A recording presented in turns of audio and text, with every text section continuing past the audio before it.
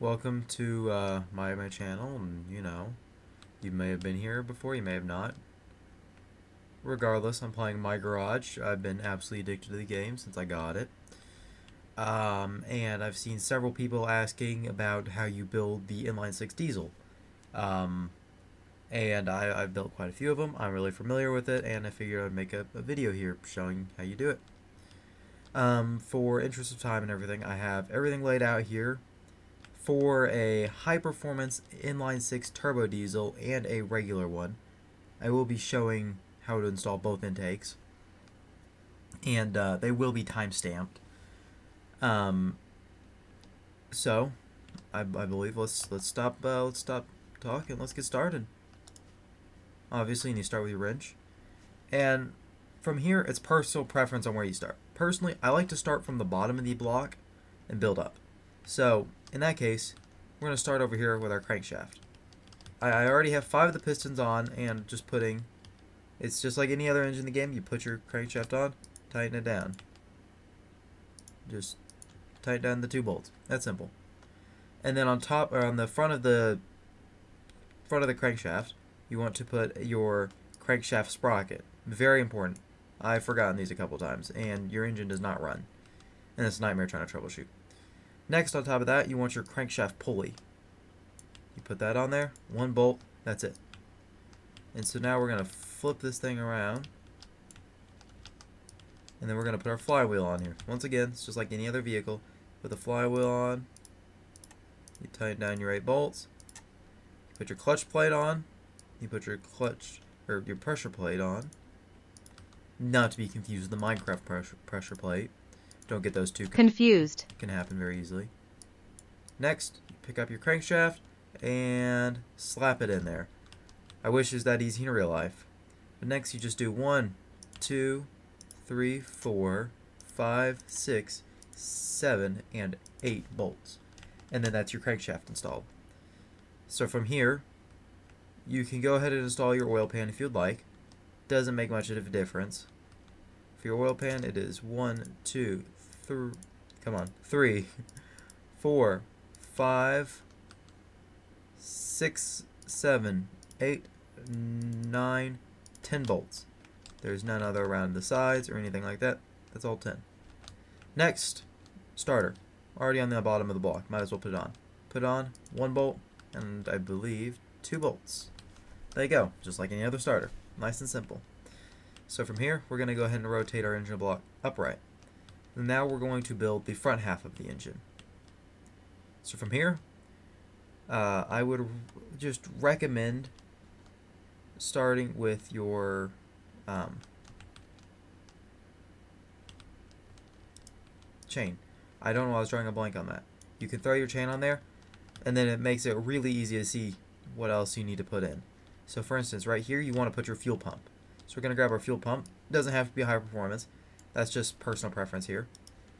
And then you take one, one, two bolts, tighten it in, and you don't have to do anything on the front half of this, which is nice. Um, and then from here, you're going to get your timing cover, and you put your you're going to put your timing cover on. One, two. Let's not get stuck on the engine stand. Three, four, five, and yep, that's it. So now you have that part built. Next, you're going to build the head. And so I recommend doing this off of the block. Just it's it's easier than trying to build it all on the block. So you have your head, and um, you put your injectors up on this top row, right up here, and then you put your glow plugs. Very important. Make sure they're glow plugs on this bottom one. So you just put them in. You take your spark plug socket, tighten it. You take your uh, injector, drawing a blank on it, and you, you get it in. You tighten it up, and there you go. Uh, from there, bef before you just go and slap it on, don't forget your head gasket. You will cry yourself to sleep tonight if you forget your head gasket. So now you slap the head on there. And then one, two, three, four, five, six bolts. That's it. Really simple. Alright. Now we're going to go over here and we're going to put our cram uh, camshaft sprocket on the front of our camshaft and it's just one bolt on the front and then you just slap that up and then ready count with me one two three four five six seven eight nine ten eleven twelve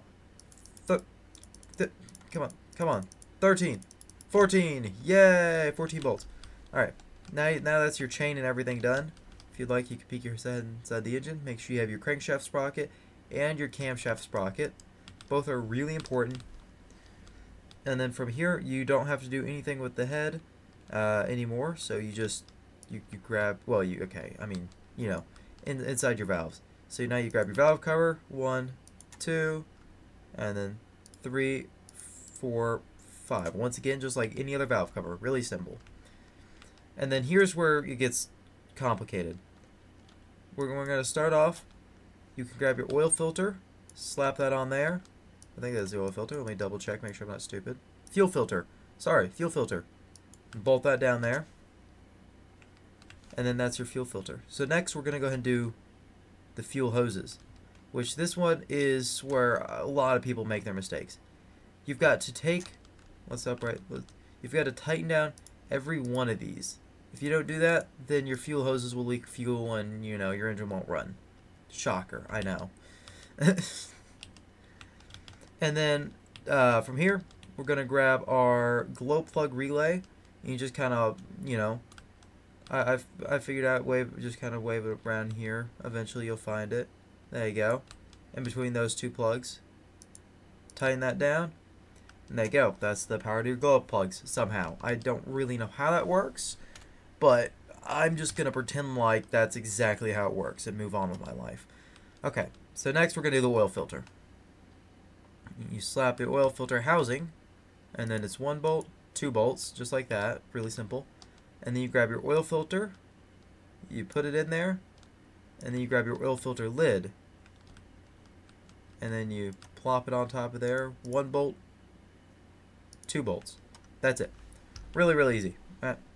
And so now the front half of the engine. We you've got to have, we're going to start with the alternator. So you got to get your alternator bracket and put it down here at this, uh, at this corner. And then it's just one, two. Okay, from here you can just grab your alternator and just slap that alternator there. One, two, and yep, that is your alternator installed. Next, we're going to install your water pump. Very important. And your water pump just installs that little crevice down there. And then one, two. If you can't find it, it is you, you can you can see the bolt right there. Alright, next we're going to install our tensioner, belt tensioner. We just kind of throw that there right in the middle of the engine. And That's just one bolt holds that on, really easy. Uh, and then our steering pump. Our steering pump goes right here on this little bracket you put that there, and then one, two, okay? And then your engine fan, that goes on top of your uh, your your uh, water pump right there. Okay, and now we install the belt. Just install your install your belt just like that.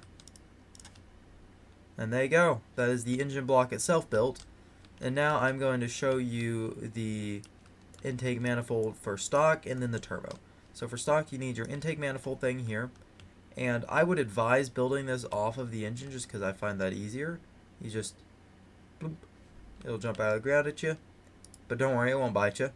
You attach those, you take your air filter, you put that in there, and you take your air filter lid, you put it on there. No bolting down having to do for the air filter box.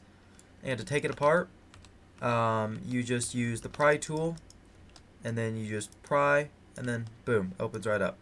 Real easy, real easy. Alright, now for this, you just put that on there. And then one, two, three, four. It's just, you know what, I'm just going to tell you. It's two bolts on every single one of these. You can figure it out. So 12 bolts total. Um, but, yep. And then your, your exhaust manifold works like any other exhaust manifold. Except for it doesn't, because I grabbed the one for the inline 6, not the inline 6 diesel. Whatever, you can figure it out. I believe in you. You're you're smart. Um, unlike me apparently. but no, um, that's just it. Just works like any other exhaust manifold. It's just simple. But for the uh, intake manifold for the turbocharger, you get you you get this, put it on, and then bolt. Oops, bolt. Tighten it down. Just make sure you tighten down 12 bolts, two on each. Really easy. Perfect. There we go. And from here, we're going to take our exhaust uh, manifold for the inline six diesel. Or sorry, what's it? Let me let me get you the technical name. It's the uh, exhaust manifold L for the inline six diesel. This is the turbo variant, and then it's just one, two, three, four, five, six, seven. Kind of a pain to access those. Yep. And then from here, you're gonna put your turbocharger on it. Real easy. Boom, and then one bolt, and come on, two bolts. You put your air filter turbo on there. Tighten down your one bolt there. And there you go. Congratulations. You have built yourself an inline six diesel. But um, if y'all enjoyed this, let me know if I should make more. Um, you know, I've got, I think what it was there, the uh, V8 inline six and the inline four. Um, oh, yeah, so I, I got three more videos I could make out of this. Woohoo! No. Um, but yeah, that's that's really all there is to this. I uh, hope this helped you, and if it didn't, then good luck finding another tutorial video on it. And uh, goodbye.